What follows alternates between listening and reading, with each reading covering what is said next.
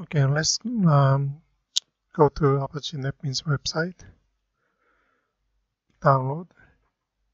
We have um, 11.3. It just came out a few days ago. Download. Okay, I'm going to install uh, installer. Again, I recommend you to use uh, Java 11 or 8 if you're going to use Java FX. So Windows 64. Okay, that's the one. Download. It will take uh, two minutes to download. Okay. Here you go. Again, the installation is uh, straightforward.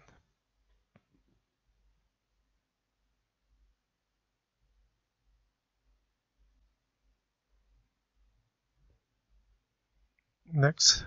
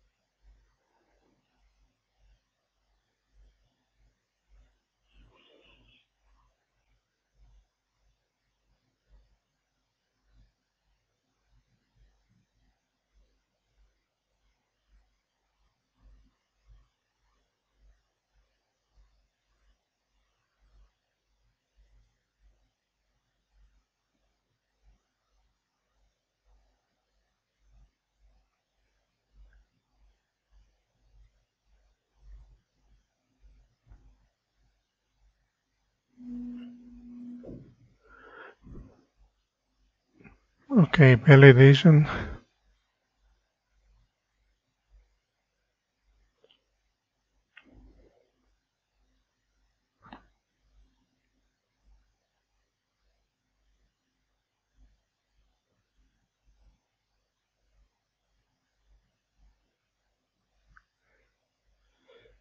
Okay, finish. Um, if you install more than one JDK, you may need to set up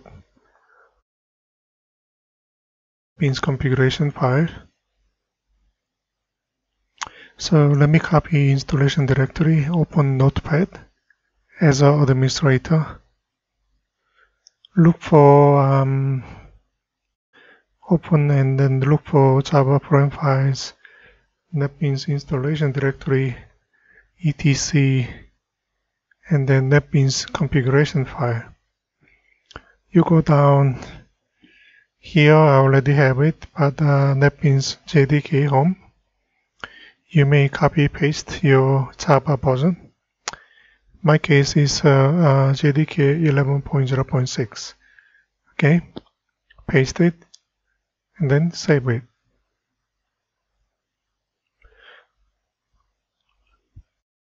Now um, NetBeans going to use uh, JDK 11.0.6.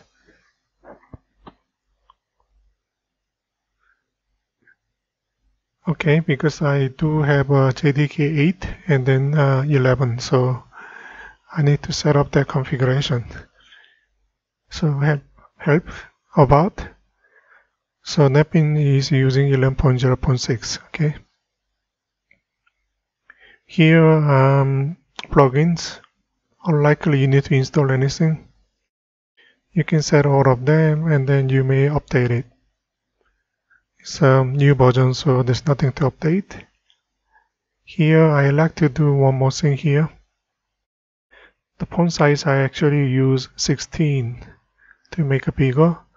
And then comments, I use uh, magenta instead of a gray. So that looks uh, slightly bigger on screen. Java with ends, Java applications, I will use the name as it is.